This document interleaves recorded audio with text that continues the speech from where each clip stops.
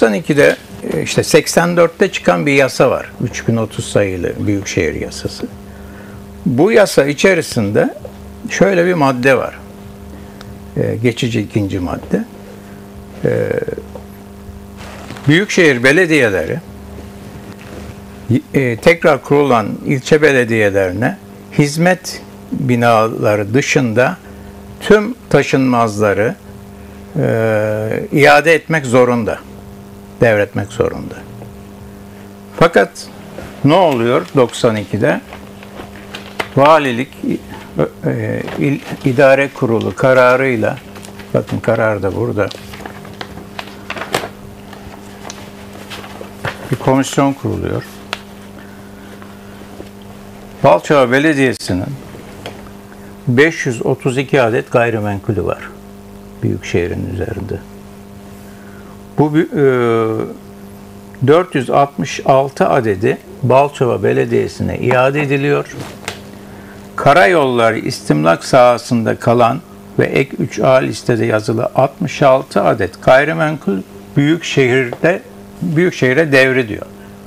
Büyük şehirde kalıyor. Yani Balçova Belediyesi mallarını iade almıyor. Hakkı olduğu halde mal paylaşımı yapıyorlar. Peki o dönemlerde mağdurların işte ne bileyim Burhan Bey'e ya da Yüksel Bey'e bir müracaatları yok mu? Bir şey yapılmamış Mutlaka mı? olmuştur. Yani ama o zaman bir dernek falan da yok. Yoktu. Ya bireysel, Bireysel, olarak bireysel. olmuştur. Ee, şimdi burada e, enteresan olan nokta şu. Şimdi vatandaşlar çünkü 93-94'te biz tapumuzu aldık, vergisini yatırıyoruz diyor. Yüksel Çakmur, Buran Özfatura dönemini geçmeyin, tapu dağıtımı oldu diyor. Şimdi bakın 92'den bahsediyorum. Tabii. 93'te bu 92'de Yüksel Bey vardı. Evet. 93'te bu e, bir kısım yerleri devrediyor Büyükşehir Balçova Belediyesi.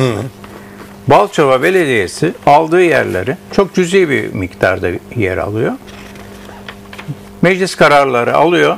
Büyükşehir'den iade alınan yerlerin yeniden parselasyon yapılarak dağıtılması hak sahiplerine müracaat sırasında. Tapu sahibi, Evet. tapululara. Burada 550 kişiye tapu veriyorlar. Ama tapu bekleyen 4000 kişi var. Bizim tapusuz dediğimiz Evet. kitle 4000 mi? E tabii şu, şu an 550'si de aldıktan sonra 3500'e yakın şu an tapusuz var. Tapusunu alan sayısı 1898 kişi. E, Yani şeyde ilk 71'de alanlar artı daha sonra e, e, Balça Belediyesi tekrar mallarını iade aldıktan sonra 93'te ve 97 arasında tapusunu alanların toplamı 1898 adet. Ha, tapularını almışlar ama bir işe de yaramamış. Ne imar geçmiş, ne inşaat olmuş, ne uygulama olmuş.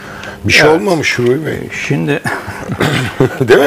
Yani Şimdi burada e, sıkıntı şuradan başlıyor.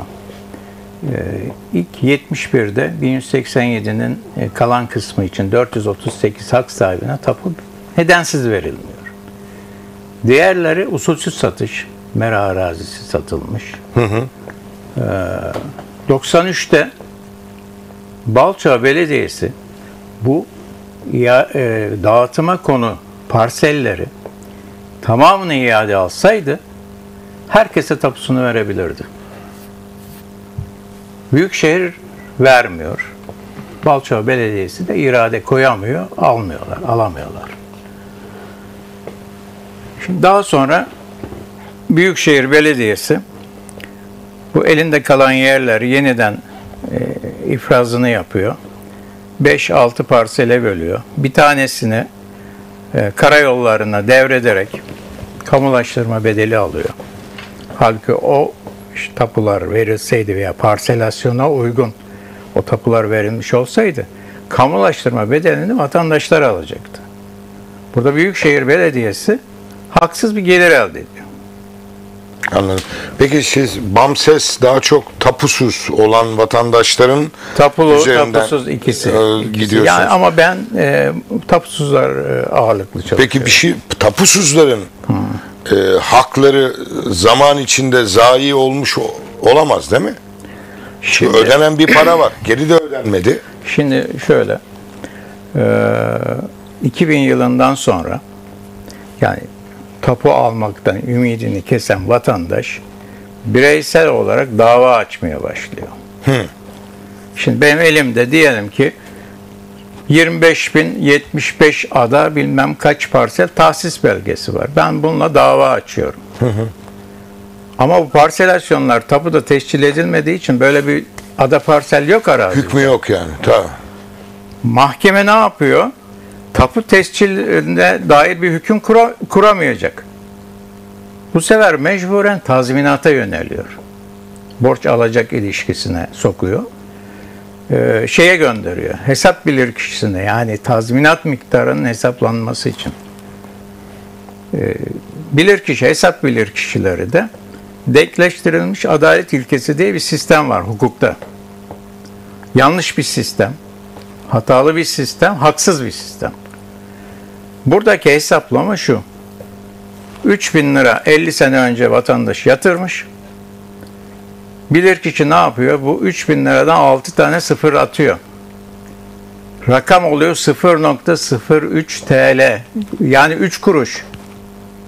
Bu 3 kuruşun üzerine işte dolar artışı, e, asgari geçim endeksi, en düşük memur maaşı, altın fiyatları, bir döviz e, e, şeyi artışı bir paçal yapıyorlar, bir hesaplama yapıyorlar. E, Yani 2019'da biz böyle bir şeyle karşılaştık. 7000 küsür lira ya hükmetti mahkeme. 50 sene önce Metrekare. 3000 hayır 7000 TL Metrekareyi mi yoksa tamamı? 300 metrekare 300 için. E, şu anda Balçova'da